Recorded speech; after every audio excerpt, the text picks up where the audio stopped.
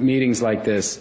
Um, I don't want to throw any other actors under the bus, but I but I know a lot of very very serious actors and filmmakers who've been having meetings like this forever, and writers for that matter, who uh, who take meetings like this, and it's part of you know what we do to do our job really well. What a moron! He looks as stupid as he sounds. He's talking about Sean Penn meeting with the number one drug lord on, on, on the earth and saying there's nothing bad about it and it's what we do, you know, to do our job really well. Yeah, to do our job really well of what? Demoralizing and destroying a society? You're doing really well at that, Matt, the most overrated child star in history. Okay, my friends, callers, Jim, WABC, what's your topic, Jim? Go ahead, please. Yes, good evening, Michael. Uh, one thing I wanted to say is you would probably make a good running mate with Donald Trump as a VP. You should consider that. Well, uh, hold, hold it. Let, us talk about that. It would have been easy for me to play uh, a joker today and say to Mr. Trump, would you consider me as, as VP? I didn't do it for two reasons. One, because it would destroy his candidacy, and two, because I wouldn't make a good VP because I'm not an administrator. I'm not really a good administrator. I don't have the head for it. You really have to know how to run a large organization to do it well. You know, I mean, just because you have good ideas doesn't mean you can translate them into action. On the other hand, some people can translate uh, very bad ideas into action. Look at Obama. So I appreciate that, but I certainly could you imagine the headlines if I had cornered Donald Trump, who was gracious enough to come on my show live, and I said, "Would you consider me to be VP?"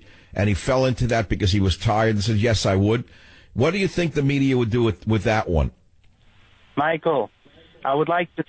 Um, I, I I agree with a lot that uh, what Donald is saying, but I don't really believe that he will carry through with what he's saying. And and I'll tell you, I'll make I'll make a prediction on your uh, radio show today that I believe that Obama and company are waiting to see if he's going to win Iowa in the primaries. And if he comes out the winner, I believe you're going to start seeing, uh, you know, some kind of stuff, hanky panky going on from underneath, like a DOJ investigation. You know how it is. They'll pull the rug from underneath and uh, have him uh, derail his campaign and just pull out. Well, yes, the Soviets definitely stop at nothing to defeat their enemies.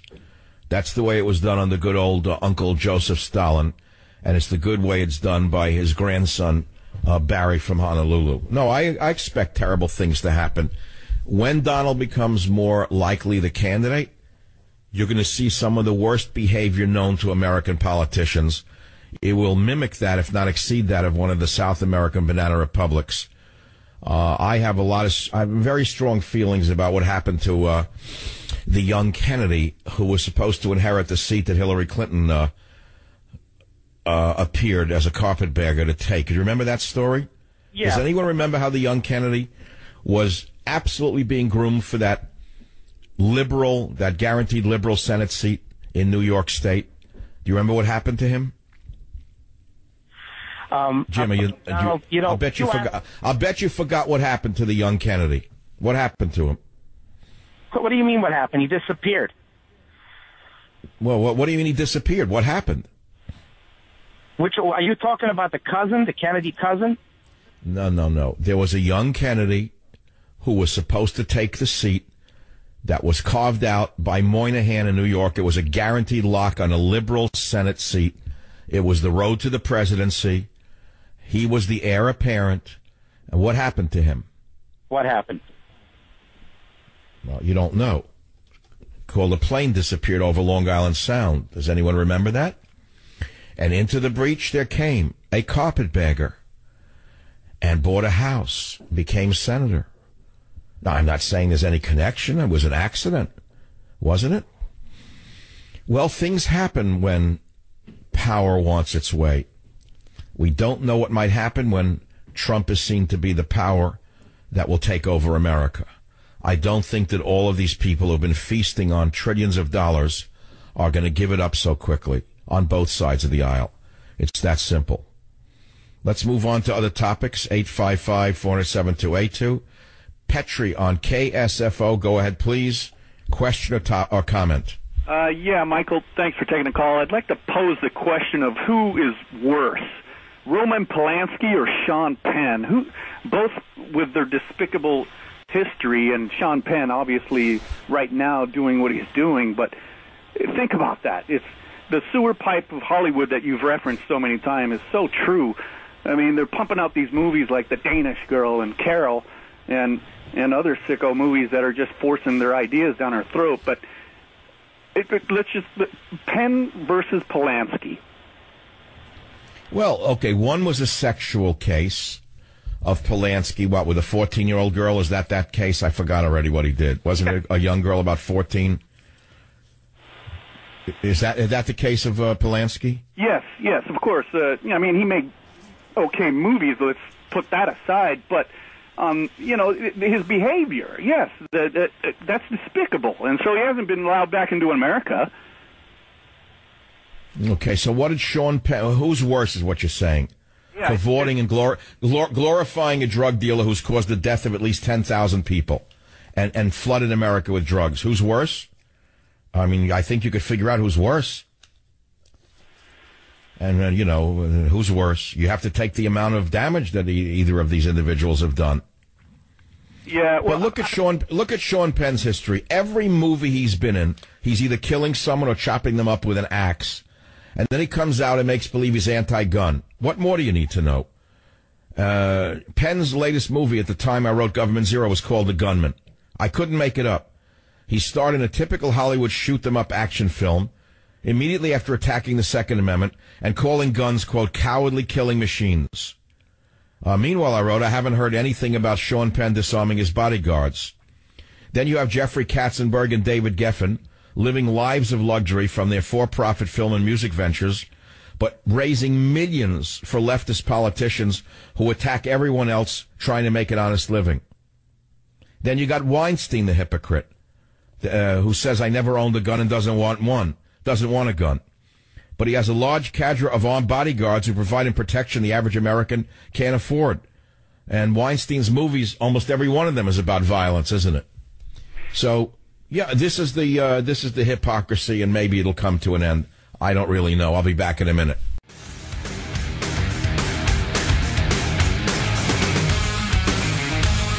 I know you appeal to African African Americans far more so than the polls are saying can you tell the audience why you think you appeal to African Americans in particular? Well, you know, I agree with you a 100%. The relationship is incredible. And, you know, one of the polls came out and said I had 25%. That's as a Republican, which would normally have 5 or 6 or maximum 7. And I have 25%. Uh, the poll recently came out showing a 25% uh, with, with African Americans. And one of the announcers said, "Well, wait a minute. If this is true, that means the election's over. Trump wins automatically." So, great. well, that, I just want to ask from the interview the, the earlier today. I, I asked the pointed question: Is that not are you? I said, "Why are you so popular with African Americans, Hispanics, immigrants?" Now, here's a new poll came out from Gallup. The share of people identifying as Democrats has reached a record low. You don't know this. But the share of people in America who say I'm a Democrat has dropped to a record low in 2015, according to the latest liberal Gallup uh, poll results. And that shows that Americans are abandoning Obama's idea of Democrat Party. That's a huge change. People don't even want to call themselves a Democrat because of what he's done to this country. It's the lowest overall share of self-identified Democrats since the polling institution began interviewing subjects via telephone instead of in person. Do you understand what I'm saying to you? That's a very big deal. Now, here's Hillary Clinton continuing the same old, same old about Medicare, Medicaid, the environment, and women's issues. She is stuck in amber. Hillary Clinton fell into an amber pit somewhere around 30 years ago and keeps talking to us from a microphone down that amber pit about issues that are no longer on the front burner of most Americans, let alone most women. Most women want national security as their issue. They don't care about equal pay. This is an old story. It's a dead story. It's a nonsensical story. But listen to her go on and on and on, droning on in clip number 18. Well, if he wants to engage in personal attacks from the past, that's his prerogative. You know, so be it. I'm going to draw the distinctions between where I stand and where he stands when it comes to equal pay for women, raising the minimum wage, which affects two thirds of the women who are the ones receiving the minimum wage. Yeah, right. Okay. Right. Now let's listen to her in 19. Again, the same old, same old from uh, Mrs. Clinton. Well, it's been uh, fair game going back to the Republicans for some years. They can do it again if they want to. That can be their choice as to how to run in this campaign. All right, it's all hot air. She's not talking about the classified emails that she ordered her top aide to uh, to bury. You know, that's a big deal. She could go to jail for this. If it was you or I, you'd be in prison right now. So let's stop the double talk about women's pay, Hillary, and get let's get down to it. Listen to the double talk now at 21 from Miss Democrat Hillary Clinton right now in the Savage Nation. That's just not the way I treated classified information. Uh, headings are not uh, classification uh, notices, and so uh, oftentimes we're trying to get the best information we can. And obviously, what I'm asking for is whatever can be transmitted, uh, if it doesn't come through secure, uh, to be transmitted on the unclassified uh, system. So no, there's there's nothing to that, like so much else that uh, has been talked about in the last year. Sure, just laugh your way through it. Just laugh your way through something that you darn well know you did illegally. Now, the question is, will this FBI be able to conduct the investigation and come to the proper conclusion? Because on the Drudge Report, we see the headlines. They didn't make up the stories. He only links them. FBI Clinton probe expands to public corruption track. Pressure growing inside FBI to pursue. Many cases successfully prosecuted with much less evidence. Did you hear that, all you Democrats? All you Soviet citizens of the Hillary universe? Did you hear about that, all you citizens of the Hillary universe? Many, many people have gone to jail for much less. This is a huge deal, and we don't want a double standard in the United States of America. This is a huge deal. The Clinton Foundation is a huge deal. The Clinton Foundation is a public charity, which had grants and contributions in excess of $144 million in 2013. And inside the FBI, pressure is growing. We had a good show until right now. I had to be thrown off base at some point, or else it wouldn't be my show.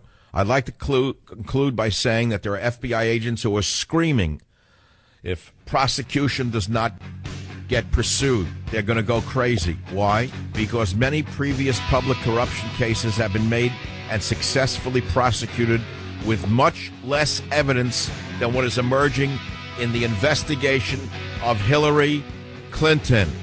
That's it. Trump interview on michaelsavage.com. Be here or be nowhere. Thanks for listening. God bless America. Savage.